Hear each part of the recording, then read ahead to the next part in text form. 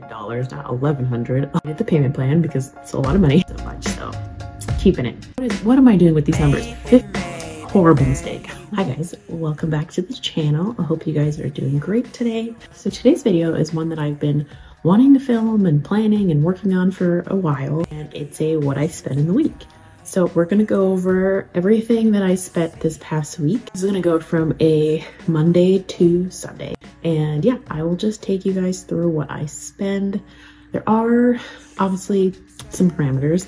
I'm only including things that are not like recurring bills. So like car payment, car insurance, you know, t like phone, like none of those kinds of expenses are in here. This is just like discretionary spending for the most part. Um, and kind of like one-off expenses. So that's what I'm going to be showing.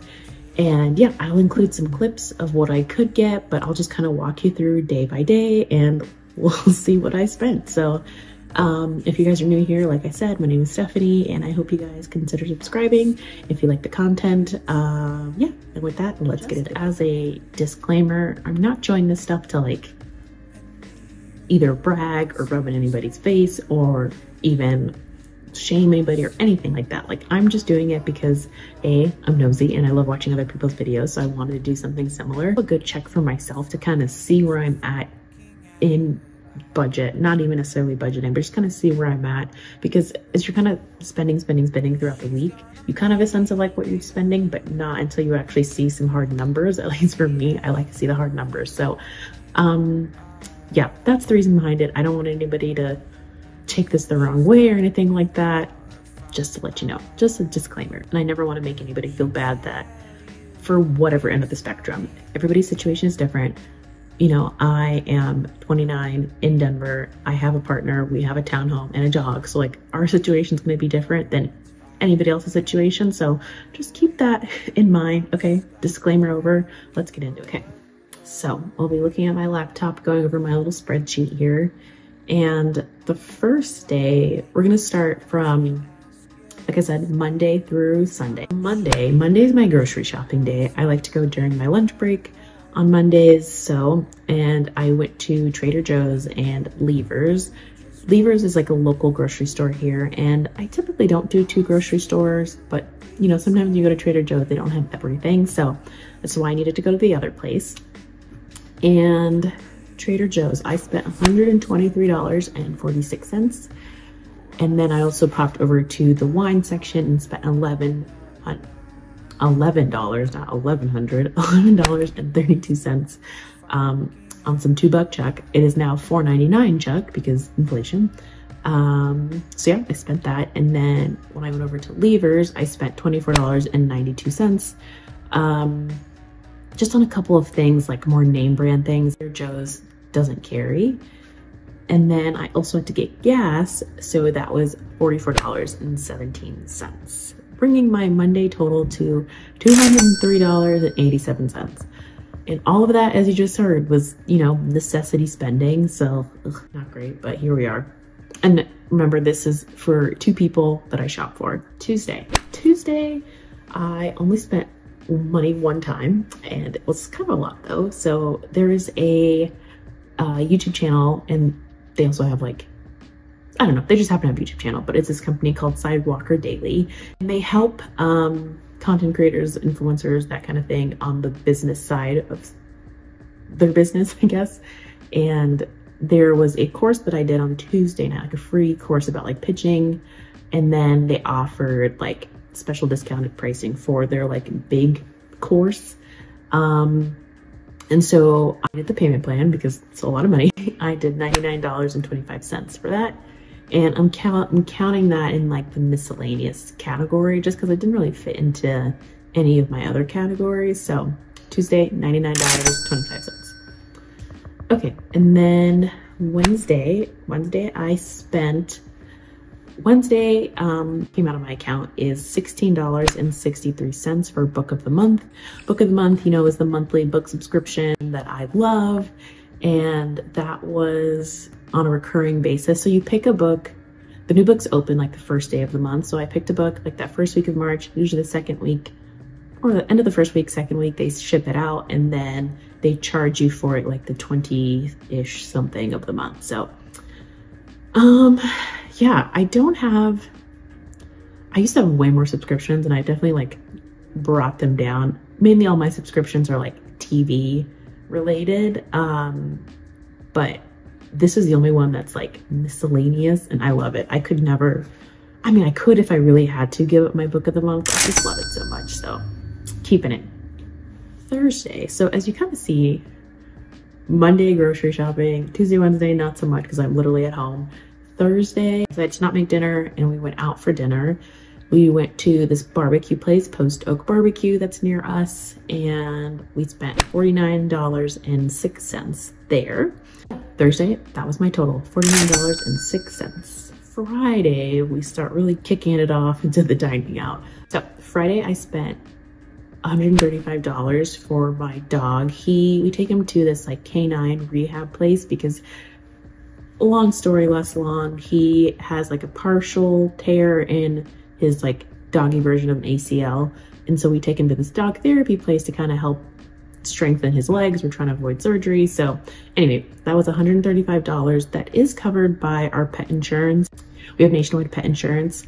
So I'm not really counting that because I get that money back in full, but I just wanted to mention it. And Friday, we also went out for dinner. Um, we went to this Mexican, I guess not Mexican, this Latin restaurant called El Jefe and spent $35.37 there. So kind of how the dining out kind of splits. Sometimes we split it evenly. Sometimes like he'll get it or the next time I'll get it. Like, so there's not really a rhyme or reason. Some of these dining out costs are split, but then as you see, as I'll get to some other ones, like I, I covered the bill, he covered the bill for something else. So that's kind of how we do it. My Friday total was $35.37. We split the dinner up. Come Saturday, Sunday, I, yeah, we really ramp up. Okay, so Saturday, my Patreon subscription came out of my account and that was 59 what is what am I doing with these numbers? $15.59. The one Patreon podcast I subscribe to is Two Black Rose, One Rose. Again, here I was saying that I don't have many subscriptions. These are literally, I think, my two. And these two are like my absolute favorite. I would give up TV, all that stuff, as long as I could have these two. Justine and Natasha, amazing. If you guys like reality TV, if you love like kikiing with your girls, if you love talking about reality TV, this is the podcast for you. So shout out to them. They're amazing. Um, we also went to the mall because we needed to return something and it's annoying, but the mall that's near us, you have to pay $2 for parking. So two bucks for parking at the mall. And then in terms of dining out, we went to this restaurant, Highland Tap, for dinner. And I spent $69.67 there. And then afterward, we went to a cocktail bar. But what? There's this cocktail, it's like a speakeasy. And it's literally been around in Denver for years, Williams and Graham. And I just have never been there before. It was never at a certain point, it is really hard to get in. And we just happened to like, okay, we're here in this area. Let's go see if we can get in. We got in. It was good. I liked it. But like, I don't know. The older I'm getting, guys, the less I'm wanting to spend on like $16 cocktails. And I'd rather buy, you know, my two buck chuck and just enjoy that bottle of wine. That's kind of more my vibe. But you know what? Saturday night, let's do it. We did it. Um, yeah, so that brings my Saturday total to $128.68. And then, um, okay. It's a lot of spending on Saturday. And to round off the week, Sunday, we went to Sunday morning, we went to get um, breakfast. He covered that. And then we stopped by this bakery that we really liked. really good vanilla uh, vanilla lattes. And vanilla lattes are pretty basic, but this place puts like the vanilla bean like right on top. So good, so good. So $29.28 there on two coffees and a couple of desserts. Um, I mean, baked goods. Afterward, like we went on a hike with our dog and then the hike that we did is by this brewery called New Terrain and we went there after the hike and that was $17.12 was so nice on Sunday, so it was nice to be outside, but it was pretty crazy. And then, God, this one I'm including, but I did just get my money back. We had Chipotle for dinner, and we haven't had Chipotle in like eight months easily, maybe a year. It's never, I really don't crave Chipotle. And the one near us is like not great. Like it's always like a bunch of teenagers in there and like the food's never like, eh, but it had been a while. So we're like, okay, let's give it a shot. Horrible mistake. Horrible mistake. It was so bad, guys. When I, I, okay, first of all, I spent $30.61. When I got there, I placed the order online. When I got there, um, it wasn't like, you know, in those like shelves that they have with the orders and the names. It wasn't there. And I was like, okay, this is typical this place. They're never usually ready. I go up, I say my name, and she's like, okay, we're a little bit behind, but it'll be in a second. Um, and I'm like, okay, no problem. You're just doing your job. No complaints here. I proceed to wait like 30 minutes, I think. And then there's like 10 other people also waiting with me. And so I don't know what the breakdown in the communication was, but they were very slow to get things out. And the people that were actually in the Chipotle, like ordering in person, you could only pay exact change. So they like, their POS was broken. And so that was another stress. And I was like, oh God, let me just get my food and get out of here. Get the food, get home. Tell me why the rice is undercooked. The rice is crunchy, crunchy. And I got a bowl, he got a bowl. So it's like, it's, it's all rice. So that was bad. The guacamole on it was brown. It was just all around not good. So I disputed with Chipotle and I'll be getting my money back any day now. So that brings my Sunday total to $77.01. That brings my weekly total for what I spent to $609.87. And I feel like that's kind of high. I don't have anything to compare it to because I don't track it by the week. But I was looking at that number and I was like, hmm. Because do you ever just think back and you're like, no way did I spend $600 in one week, but the groceries was like almost a third of that. So that kind of makes sense. Um, a couple subscriptions, like this miscellaneous purchase for that program.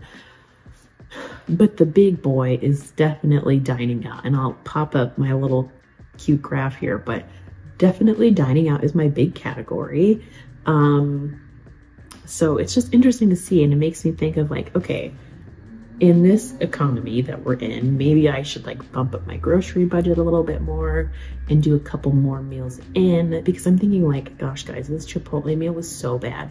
$30. Yes, I'm getting my money back, but if I had put that money, $30 into my grocery bill, I would have A, had better food, made it myself. And I don't even think I'd have spent like $30 on whatever I needed. I could have bought like an extra protein and I already had like pasta. I don't, you know what I mean? So things like that that kind of help you analyze like hmm there's different ways that i could maybe restructure this if i feel like it's too high or there's areas i want to cut back on so yeah guys okay guys that was my what i spend in a week i hope this was interesting for you guys i mean i like to watch these just because i'm nosy and i want to see like what people are spending especially in like different cities and it's more just like not even educational it's just fun to kind of know about. I'm not giving any financial advice.